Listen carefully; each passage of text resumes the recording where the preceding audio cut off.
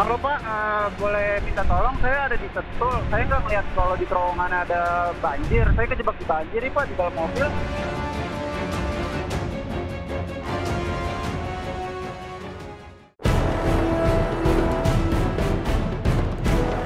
Hujan deras disertai angin kencang belakangan ini sering terjadi di Indonesia. Tak bergantung musim, hujan deras bisa datang kapan saja. Kondisi ini menyebabkan sejumlah daerah dilanda banjir.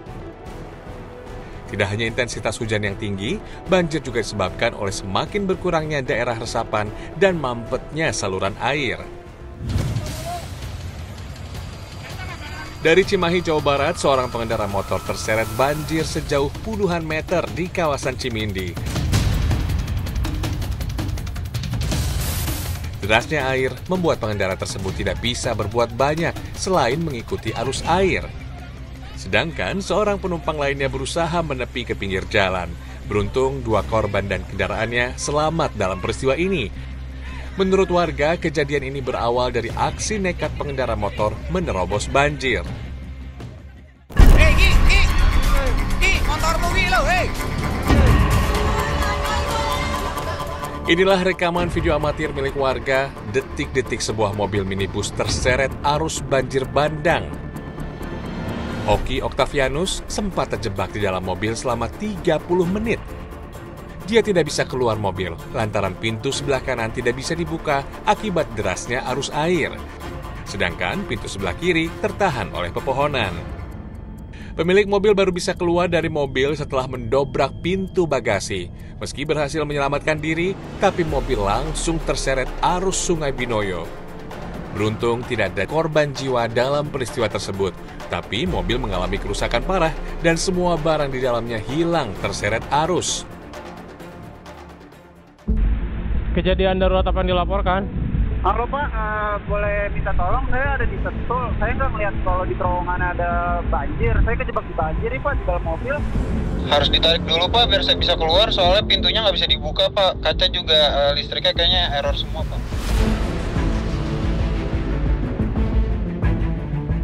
Sementara di Sentul Bogor, Jawa Barat, seorang pengemudi nyaris meregang nyawa setelah mobilnya terjebak banjir saat melintasi sebuah terowongan. di terowongan sirkuit Sentul. Damkar Peristiwa yang terjadi pada Sabtu 27 Agustus 2022 seketika viral di media sosial.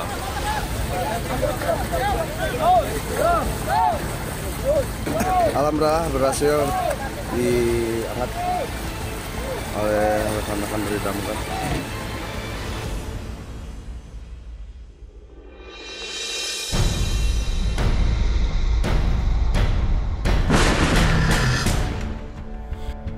Sobat penyitas, sebelum peristiwa naas itu terjadi, Muhammad Fatan sedang mengendarai mobil untuk menjemput temannya. Saat itu memang cuaca sedang tidak bersahabat. Hujan deras yang terjadi sedikit banyak mempengaruhi jarak pandang Fatan.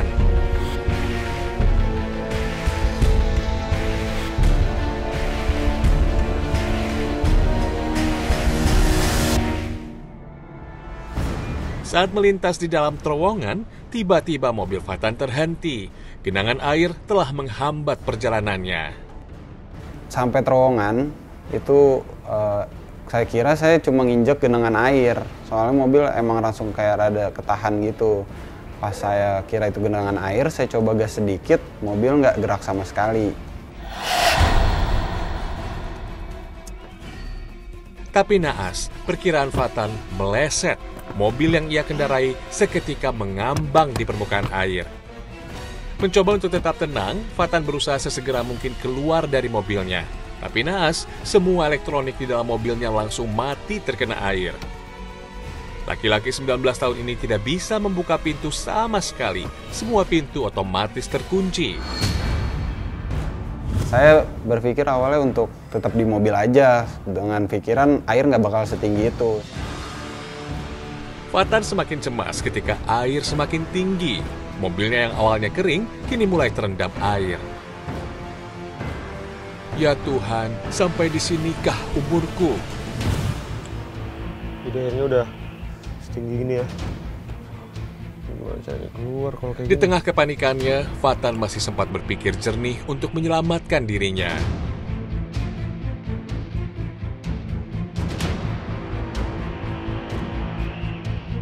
Halo Pak, eh, boleh minta tolong? Saya ada di Setul. Saya nggak ngeliat kalau di terowongan ada banjir. Saya kejebak di banjir nih Pak di dalam mobil.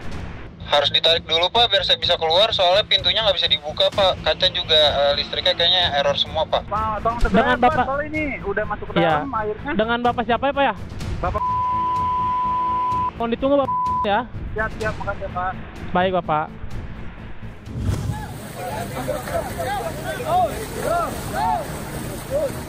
Alhamdulillah berhasil diangkat oleh rekan-rekan dari damkar.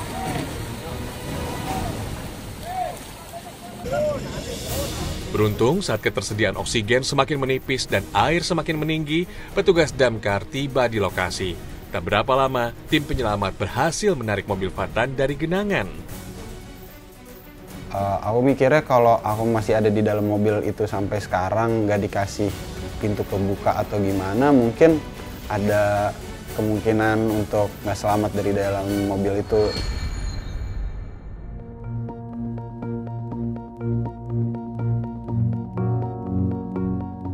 Alhamdulillah, kini Fatan bisa bernafas lega. Dia akhirnya lolos dari maut.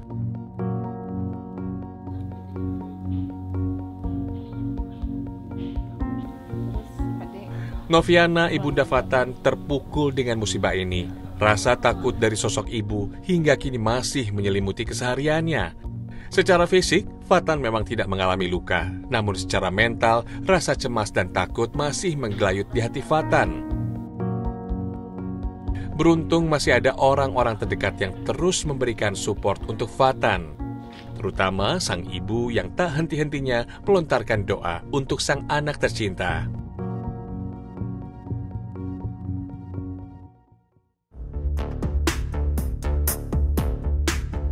Sobat penyitas, kehati-hatian dalam berkendara menjadi syarat mutlak dalam berkendara, terlebih saat berkendara di musim penghujan. Sejumlah persiapan harus dilakukan agar kita selamat selama perjalanan. Untuk pengguna mobil, pastikan rem bekerja dengan normal. Kemudian ban harus memiliki tekanan udara normal. Kesiapan piranti ini bertujuan agar tidak mudah tergelincir. Dari sisi visibilitas atau pandangan pengemudi, pastikan lampu mobil menyala. Kemudian wiper berfungsi normal dan pastikan karetnya dalam keadaan bagus sehingga bisa membersihkan air dengan cepat. Untuk kendaraan roda 2, pastikan kop atau tutup busi motor terpasang sempurna, sehingga tidak terjadi kebocoran yang bisa mengakibatkan air masuk ke mesin dan membuat mesin korslet.